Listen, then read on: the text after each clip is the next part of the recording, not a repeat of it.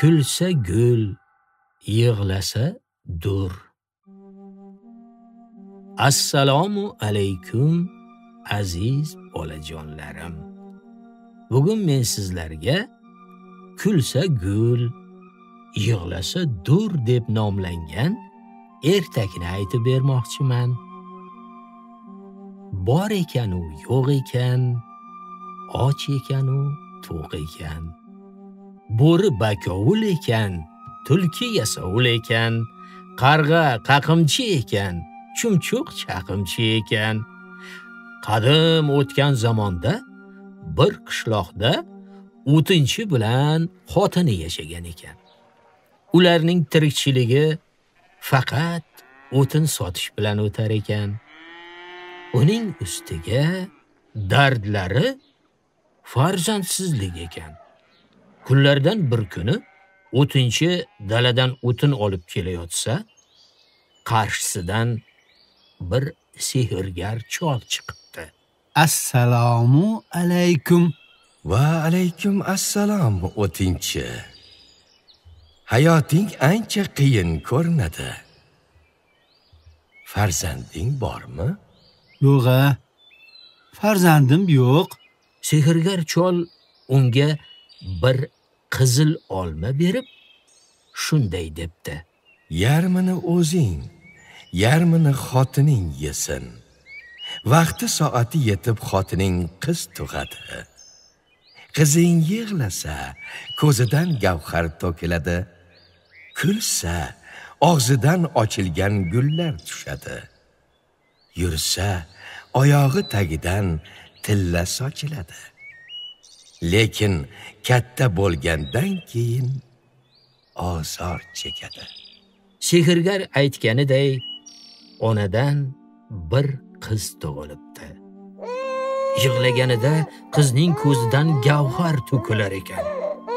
Uch oylik bo'lganidan keyin kulsa og'zidan ochilgan gullar sochilar emish. Otasi esa gavharu gullarni bozorga olib borib sotib uy joylarini tiklab olibdi. Qiz voyaga yetganida uning ta'rifi yetti olamga yoyilib buxoro podshosining o'g'lidan sovchi kelibdi. Lekin otasi ancha vaqtgacha ularga rozilik bermabdi. Jahli chiqqan podshoh endi zo'rlik qilib qizingni kelin qilaman debdi. O'tinchi oxir oqibat qizini shahzodaga berishga majbur bo'libdi. Zora niyatlaridan qaytishar deb sovchilardan ko'p qalin so'rabdi. Yuzta sigir yuzta tuya yuzta ot va ming tilla bersa qizimni beraman. Sovchilar xo'p deb ketishibdi. Bermas qizning qalini ko'p deganiday o'tinchi xotiniga aytibdi. Bopladim. Men ulardan juda ko'p qalin so'radim. Ular olib kela olmaydilar shunda shahzodaning sovchilaridan qutulamiz. Bir necha kun o'tgach kelin uchun so'ralgan qalinni olib sovchilar kelishibdi. Podsho bir aravada ikki erkak yana bir aravada ikki ayol qo'shib yuboribdi. Ular qizni kelin qilib olib ketishibdi. Yo'l yurib yurib yurib bir quduqning yoniga yetganida dam olib suv ichish uchun to'xtashibdi. Bu ikki ayol ona bola ekan. Navkarlar otlar bilan band bo'lib ayollar suv ichib non yeyish bilan band bo'lgan payt qiz yoshi katta ayoldan so'rabdi. Xola menga ham non bering qornim och qoldi. Bir ko'zingni bersang bir burda non beraman. Qiz bu gapdan hayron bo'lib indamay o'tiribdi. Qizning qorni judayam och ekan. U toqatsizlanib yana non desa xotin avvalgi gapni qaytaribdi. So'ngra qizga bir ko'zi evaziga shaftoliday non beribdi. Birozdan so'ng qiz yana non so'rabdi. Yana bir ko'zingni bersang non beraman. Xullas bu yovuz ayol qizning ikki ko'zini olib qimmatbaho kiyimlarni ham yechib olib o'z qiziga kiygizibdi. Keyin kelinning o'rniga o'z qizini aravaga o'tqazib kelinni esa quduqqa itarib yuboribdi. Sovchilar sekin asta yana yo'lga tushibdilar. Podshoning uyiga ikki chaqirim qolganida podsho bir otliqni yuboribdi.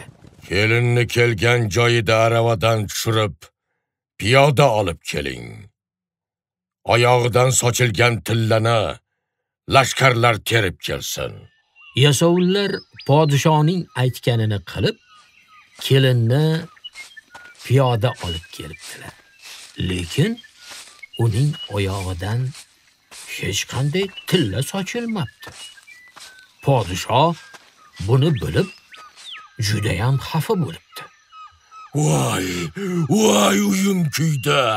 Oyog'i tagida tilla yo'q-ku. Nega tilla sochilmayapti? Bu qizning ta'rifi yolg'onmikan a kelin kelgach uni uyga kiritibdilar. Ketidan yerga qarasalar oyoq tagida hech narsa yo'q emish. Kuyov uyga kiribdi. Kelinni kuldirsa og'zidan gul ham sochilmabdi. Yig'latib ko'rsa ko'zidan gavhar ham tushmabdi. Kuyov o'rnidan turib otasining oldiga chiqibdi. Ey ota siz menga kulsa og'zidan gul sochiladi yig'lasa gavhar to'kiladi yursa oyoq ostidan tilla sochiladi degan edingiz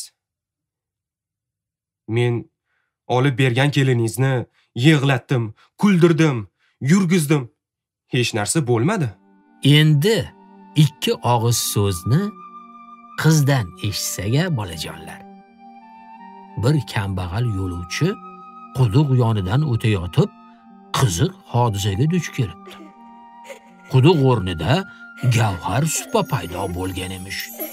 Quduqqa tashlab ketilgan qizning ko'zidan to'kilgan gavhar bilan quduq to'lib uning ustida ko'zi o'yilgan bir chiroyli qiz o'tirgan emish. Vo ajabo! Bu ne holat? Hamma yoq gavharga to'laya. Iya ularning ustida bu qiz e, qizim sen kimsan? Qayerdan kelding? Senga nima bo'ldi o'zi? Qiz boshidan o'tganlarini aytib beribdi. Shu kundan boshlab ikkisi ota bola tutinibdi. Ota meni ko'zimdan to'kilgan gavharlardan shu yerga bir bino soldiring. Bir paxsasi oltindan bir paxsasi kumushdan bo'lsin. Chol xo'p deb qiz aytganidek bino qurdiribdi. Bino bitgach chol qizni qo'yarda qo'ymay uyiga olib ketibdi. Shu zaylda ular ota bola bo'lib yashar. Qiz kulganida og'zidan alvon alvon ochilgan gullar tushar. Qadamidan esa oltinlar to'kilar ekan. Bir kuni qiz shunday debdi. Ota shu gulni podshoning darvozasiga olib boring. Gulning bahosini so'rashsa bahosi ikki o'yilgan ko'z deb ayting. Chol podshoning darvozasi yoniga borib o'tiribdi. Darvoza oldidagi xizmatchilar podshoni oldiga kirib bir kishi gul olib kelib o'tiribdi debdilar. Podsho gulni oldirib kelib keliniga berib yuboribdi-da choldan bahosini so'rabdi. Gulning bahosi o'yib olingan ikki ko'z shahanshohim. Buni eshitgan podsho ichkariga kirib kelinga aytibdi. Kelin qutida turgan ikki ko'zni olib unga uzatibdi. Bizga buni nima keragi bor? Mana berib yubora qoling. Shunday deb onasidan so'ramay berib yuboribdi. Haligi chol sevinib ko'zlarini olib ketibdi. Olib borib qiziga beribdi. Ota siz eshikka chiqib turing. Eshikni mahkam yopib qo'ying.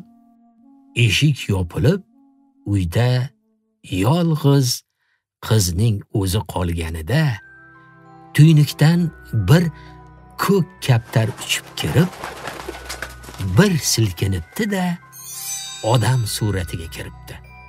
U qizning ko'zini o'z o'rniga qo'yibdi-da bir dumalab yana kaptar qiyofasiga kirib uchib ketibdi. Shundan keyin qizning ko'zi butunlay ochilibdi. Sevinchidan ichiga sig'may qichqiribdi. Otasi ham uyiga kirib qizning ko'zi ochilganini ko'rib juda xursand bo'libdi. Lekin oradan bir oy o'tgach hech kutilmaganda qiz ertalab hushidan ketib kechqurun hushiga keladigan bo'lib qolibdi. Endi ikki og'iz so'zni podshoning saroyidan eshitsak qizning onasi yangi gulni ko'rib qolib qizdan so'rabdi Gulni qayerdan olding?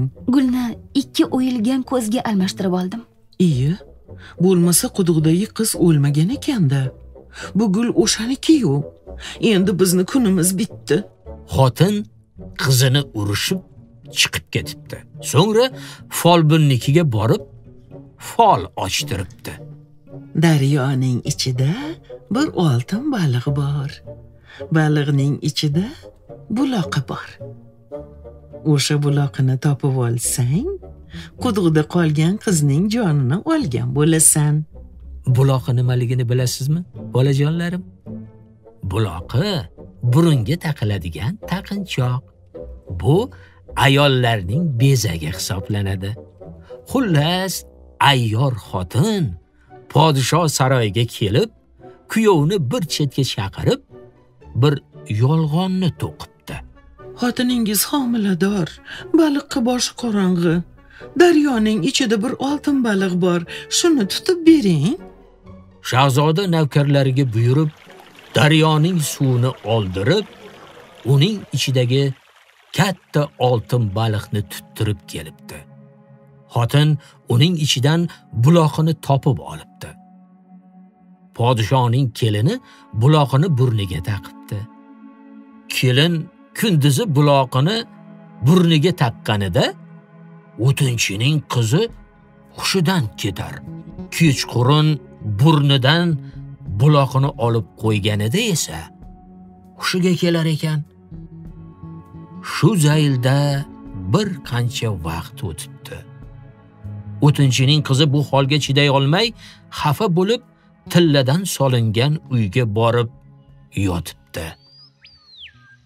Kunlardan bir kuni shahzoda ov ovlab yurib shu atrofga kelib qolibdi.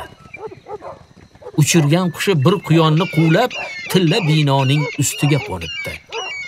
Shahzoda o'sha yerda nima bor ekan? Qushim borib qo'ndi deb qarasa bir tilla imorat ekan. Uning ichiga kirishga qo'rqib yonidagi navkarga shunday debdi. Sen ichkariga kirguncha u yerda nima gap ekan? navkar kirib u ham qo'rqib qaytib chiqibdi. Keyin shahzodaning o'zi kiribdi. Kirsa bir chiroyli qiz hushsiz bo'lib yotgan emish. Unga mahliyo bo'lib o'tirgan shahzoda esa kech bo'lganini ham bilmay qolibdi. Kech bo'lishi bilanoq qiz birdan aksirib o'rnidan turibdi. U yigitni ko'rib hayron bo'libdi. Siz kimsiz? O'zingizchi? O'zingiz kimsiz? Bu yerda nima qilib yotibsiz, go'zal qiz? qiz yigitga boshidan o'tganlarini birma-bir so'zlab beribdi. Shahzoda qizning voqeasini eshitib bo'lganidan keyin birdan ko'zlari chaqnab ketibdi. Axir siz menga unashtirilgan qiz ekansiz-ku. Men sizni dardingizda kuyib yurgan edim. Siz aytgan podsho mening otam bo'ladi. To'g'ri, avvaliga men ham sizni g'aroyib xislatlaringizga qiziqib suvchi yubordim. Lekin bildimki, baxt boylikda emas ekan. Aslida menga sizni duru gavharlaringiz kerak emas. O'zimning davlatim yetarli. Siz yonimda bo'lsangiz bo'ldi. Nima qilsam tuzalasiz? Meni jonim daryodagi bir baliq ichidagi buloqida edi. U baliqni siz tutilganingizdan keyin xotiningiz ichini yorib buloqini olgan. Shu buloqini xotiningiz kunduzi taqqanda men hushsiz bo'lib qolaman. Kechqurun burnidan olib qo'yganda o'zimga kelaman.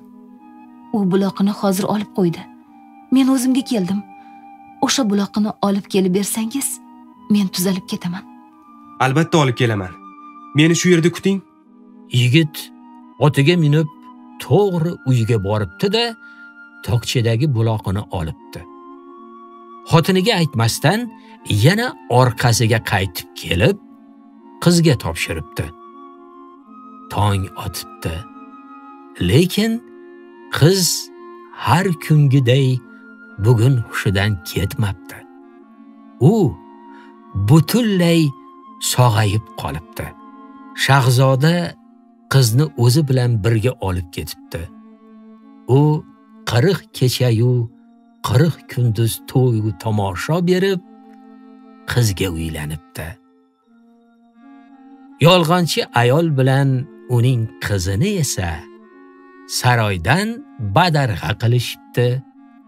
To'y o'tgach, qishloqdan qizning o'tinchi otasi va onasini ham saroyga olib kelib, hammalari baxtli yashay boshlashibdi. Mana, aziz bolajonlarim, ko'rdingizmi? Har qanday fitna va yomonlik bir kun emas bir kun kelib albatta ochiladi. Shuning uchun inson doimo halol va to'g'ri so'z bo'lishi kerak. Agar ertagimizdan to'g'ri xulosa chiqargan bo'lsangiz, endi yotib mazza qilib dam oling. Ertaga yangi kun va qiziqarli voqealar sizlarni kutib turibdi.